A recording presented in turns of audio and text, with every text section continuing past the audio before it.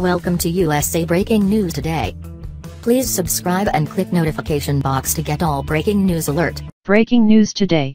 Iran issues warning to Trump you will regret it. Tehran's response will be strong. Donald Trump will regret it if he pulls out of the nuclear deal with Iran, President Hassan Rouhani said on Monday, warning the U.S. president that Tehran's response would be stronger than he thinks. U.S. sanctions that were lifted under the Joint Comprehensive Plan of Action, JCPOA, of 2015 will resume unless Trump waives them again on May 12.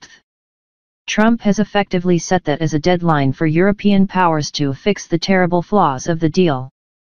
The new U.S. president, who has big claims and many ups and downs in his words and actions, has been trying for 15 months to break the JCPOA, but the structure of the JCPOA is so strong that it has not been shaken by such quakes, Rouhani said in a speech broadcast live on state television.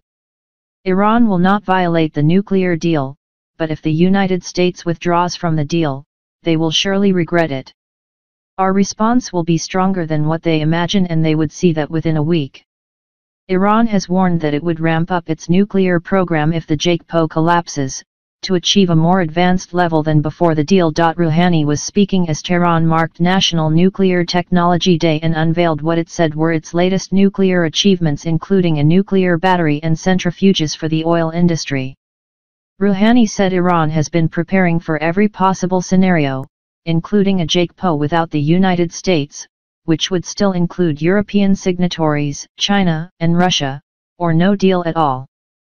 France, Britain, and Germany are seeking to persuade their EU partners to back new sanctions on Iran, as a way to persuade Trump to stick with the nuclear deal curbed on Iran's nuclear activities in return for sanctions relief.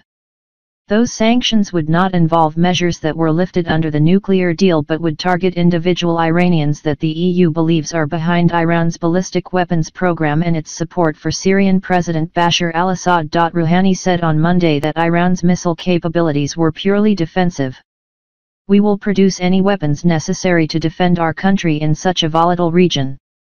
But we will not use our weapons against our neighbors, Rouhani said.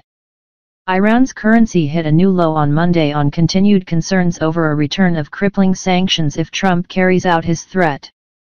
The US dollar jumped in a day from 54,700 rials to 58,000 rials in the open market in Tehran, local media reported. A dollar was 36,000 rials in mid-September. Thanks for watch please share like comment this video and subscribe channel for latest news.